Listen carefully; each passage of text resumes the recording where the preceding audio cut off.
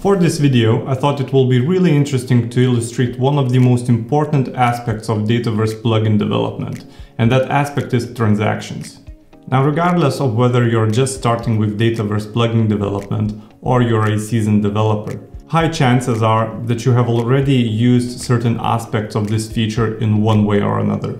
So my goal here today is to introduce some clarity and illustration on how Dataverse transactions work and how one can benefit from them in their next Dataverse project.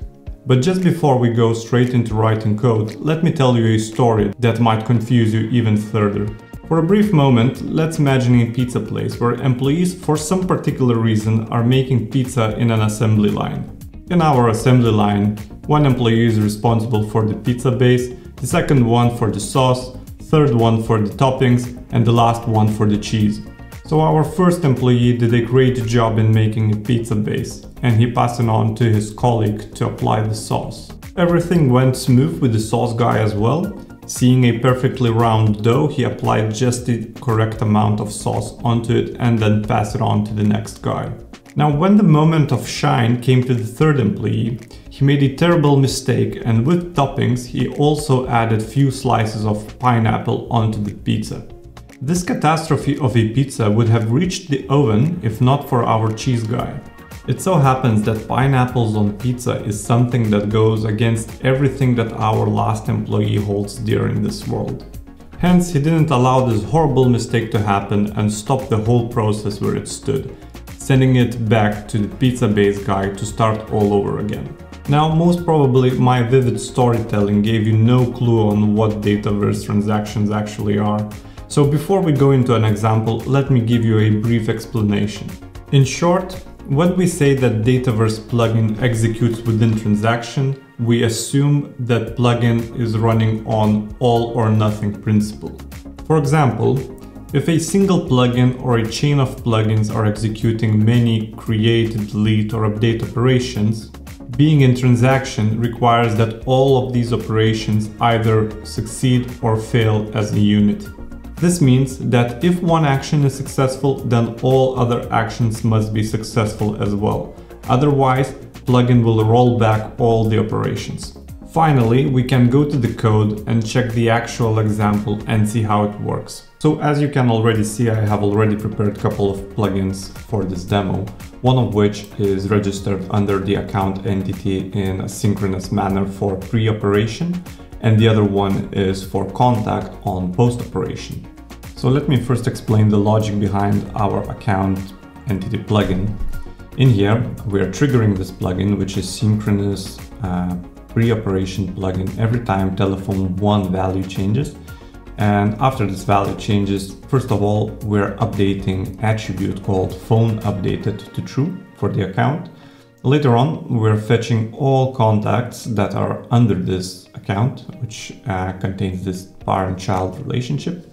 And then we're looping through each and every one of those contacts and then assigning those contacts with the same telephone one value as the one that we uh, assigned to the account when we triggered this plugin. And that's basically it. There's nothing more to it. And this is just the demo logic. I wouldn't see it being applied for any real business case scenario. So keep that in mind. And now we can jump into our contact plugin logic. So as you can see, our contact plugin logic is way more simple than account. We're just actually throwing an exception every time contact plugin is being triggered. And we're just saying this is an error message, please go away. Now again, this is a demo. Uh, we could actually implement way more logic and check if certain values updated in certain way that would, you know, break uh, or be not compliant with business logic.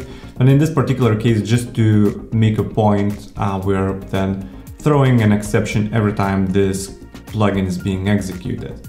This could already give you a hint what will happen with the account update that we're doing in the beginning.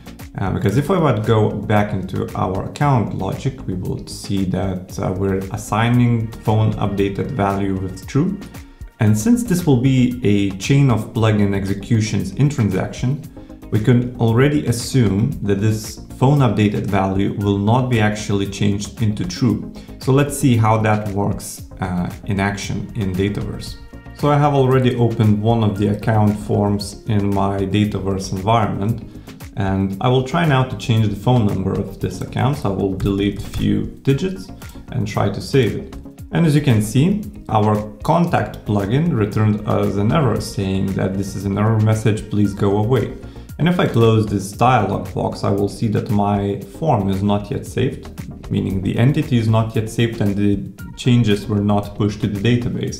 And if I go back, I can discard the changes and I will see that my uh, actual phone number hasn't been changed.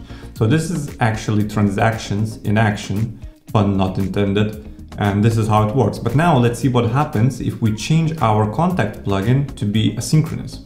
So here I am back at my account form with the plugin currently changed from pre-operation synchronous plugin to post-operation asynchronous plugin. And now if I try to change my phone number and save the form, I will see that it will save without a problem.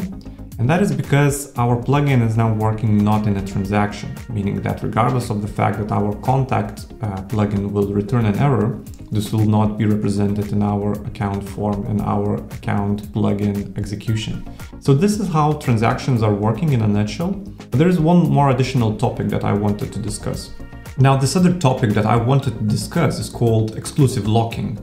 And I wanted to show you how our transactions of plugins can create exclusive locks onto certain entities and how those locks can tamper with our plugin performance. To give you a demonstration, I will include a sleeping statement into our code, meaning that after retrieve multiple uh, method is executed, we will wait for 30 seconds until we uh, finish off with our plugin logic uh, in for each statement. So let me build the solution, deploy it into our model-driven apps, and let's see how that works in action. So once again, I'm back at my form. Currently, again, I changed my plugin from post-operation asynchronous one to synchronous pre-operation because we want to show exclusive locking in terms of uh, plugin transactions. And in here, uh, I will now try to change my phone number again. And as you can remember, we added 30 second sleeping statement. So if I will try to change my phone number, the plugin will start executing and it will take 30 seconds to do so. But more interestingly, if I go and open another window of account, and if I will try, for example, to change my website and say save, I will see that this one will go into waiting as well. And this is what we call exclusive locking. Since one transaction is already in place, other uh, transactions need to wait until the first one is finished before they can alter our database again. And now you can see that only after our first transaction finished off with changing phone number, only then we could update the website. And now you can see how this can tamper with our performance of the system. If you have a lot of logic in your synchronous transactions, then it means that all other updates for that particular entity will have to stand in line and wait until the first one is finished.